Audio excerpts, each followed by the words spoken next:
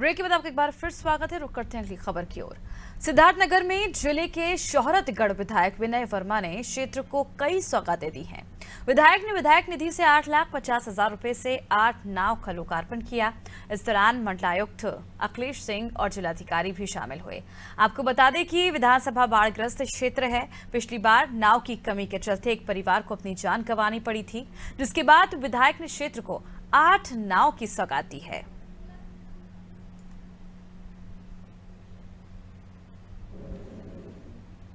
आज हमारे विधानसभा सौहरतगढ़ में, जो हमारे क्षेत्र में सबसे ज़्यादा बाढ़ की दिक्कत है, जो हर साल विधानसभा में आ जाता है, उसके लिए बचाव के लिए मैंने अपने निधि से आठ लाख पैंतालीस हज़ार का जो नाव सी साहब के माध्यम से लेटर लिख के निधि के पैसे से मंगवाया है, जिसका आज उसका हम लोगों ने लोकार्पण माननीय कमिश्नर बस्ती अखिलेश सिंह जी जिलाधिकारी महोदय संजीव रंजन जी, अभिषेक अग्रवाल जी, कप्तान साहब और सिंचाई विभाग से नेहरा जी और अपने ज़िले के सब लोग और जो अपने क्षेत्र की जो जिनके बदौलत ये सारा हो पा रहा है, वो मेरी जनता, जो सम्मानित, जिनके सामने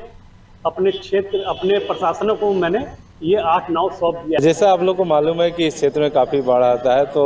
जनप्रतिनिधियों के माध्यम से हम लोगों ने उनसे अपेक्षा की कि कुछ अगर सहायता कर सकते हैं तो अपने विधायक निधि के द्वारा करें तो मानिए